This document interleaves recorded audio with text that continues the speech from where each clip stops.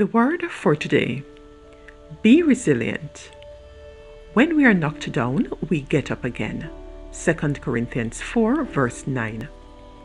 Like trees that bend in the wind, resilient people gain strength from adversity because they know how to 1. Stay connected. Solomon said, Two are better. If either of them falls, one can help the other up. Ecclesiastes 4 9 10. When Barbara Smith's son was killed, she started a bereavement group to unite others. We've saved each other, she says. 2 monitor their self talk. Watch how you spin your situation. And when you catch yourself speaking negatively, reframe things in light of Scripture.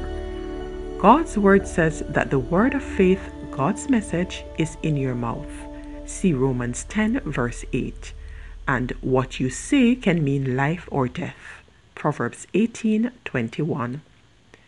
Instead of sitting around wallowing in fear and anger, and whining about how you got there, focus on what you can control your words. 3. Look for life's lighter moments. Solomon said, A happy heart is like good medicine. A broken spirit drains your strength. Proverbs 17:22. When Donna Goldman was diagnosed with multiple sclerosis, she continued to teach. I let the kids play with my walking canes as long as they don't use them for weapons, she quips. And her car license plate says, Get back up. 4. Give back. God comforts us so that we can share that same comfort with others. 2 Corinthians 1, verse 4.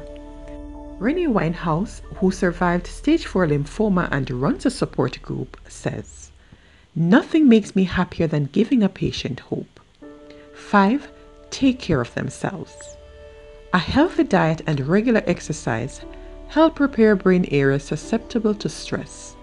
When Deborah Robinson's husband developed Alzheimer's disease, she realized if I was going to be good for him, I had to be good to myself.